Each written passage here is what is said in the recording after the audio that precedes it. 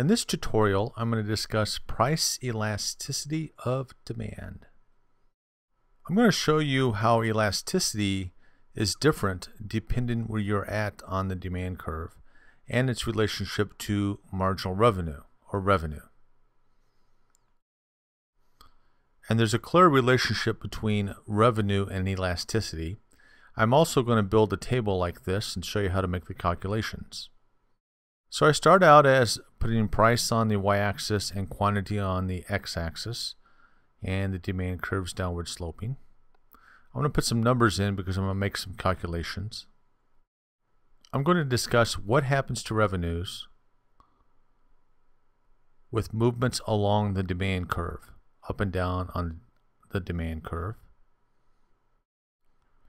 The quantity, I'm going to use the same axis, I'm going to bring that quantity axis straight down. But this time on the y-axis or the vertical axis, I'm going to plot revenue. It's important to note that these quantities are exactly the same. Notice how revenue rises to a certain point, flattens out, and then begins to fall. That is as I move downward on the demand curve.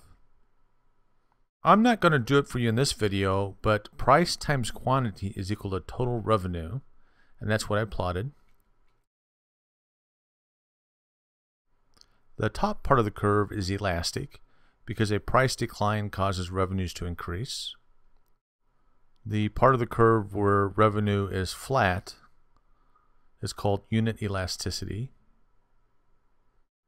and the part of the demand curve where a price decline causes revenues to fall is called inelastic. Now I'm going to make some calculations. If price goes down from $10 to $9, price falls 10%. And quantity goes from 1 to 2, quantity goes up 100%. And you divide these out, this equals 10. And this is what's known as price elasticity of demand, which is the percentage change in quantity divided by the percent change in price. This is the formula for price elasticity of demand. Percent change is new minus old quantity divided by the old quantity times 100. Now the percent change in price is the new price minus the old price divided by the old price times 100. And I'll do this calculation for you several times so you can get the hang of it.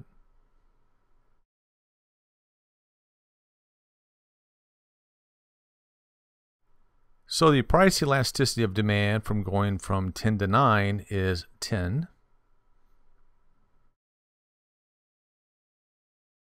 Imagine price falls again from 9 to 8. Let me get rid of some of this stuff for you first so we can focus on what you're supposed to be looking at.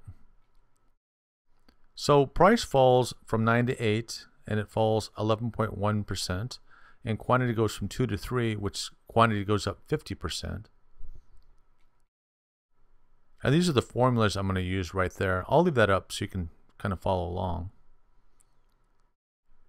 3 is the new quantity. So I have to have 3 as that 3 right here. And then I subtract 2, which is the old quantity.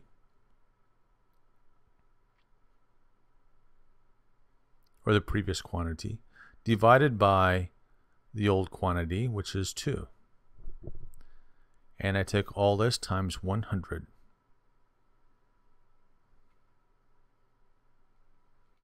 Then I take all this times the percent change in price, which is 8, which is the new price, minus 9, which is the old price,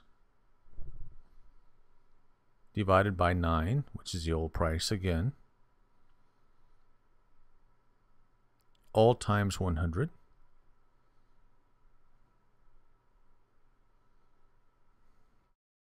So I end up with 0.5 times 100 divided by negative 0.11 times 100. Now in economics, we often drop the negative sign, and I'm going to drop it here because I'm only concerned about change in. Don't really care about the direction. So this equates to 50% divided by 11%, and this is equal to 4.5. So price elasticity of demand is 4.5. I'm going to delete some of this off and make one more calculation for you. And yes, I did round from 11.1% to 11%. Now, the last one is if quantity, I can say quantity goes up 33% when the price falls 12.5%. Again, I'm taking percent change in quantity divided by percent change in price.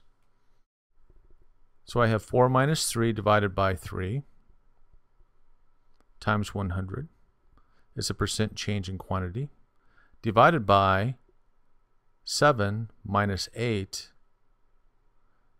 divided by 8 times 100 which is the percent change in price.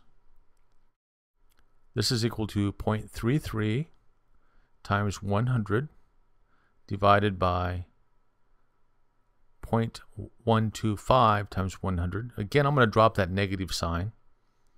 So I'll just drop off that negative sign.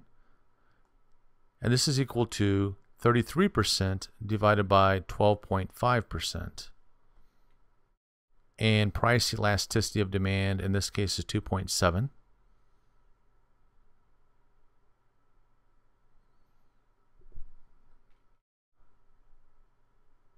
Let me fade everything back in. And again, the column headings are price times quantity, which is equal to revenue. And the last column is elasticity of demand.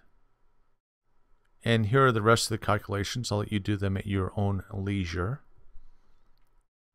Now I'm going to shade everything so you can easily match up the table and the two curves. The top part of the curve, or the top part of the demand curve, is elastic. That's where elasticity is greater than 1.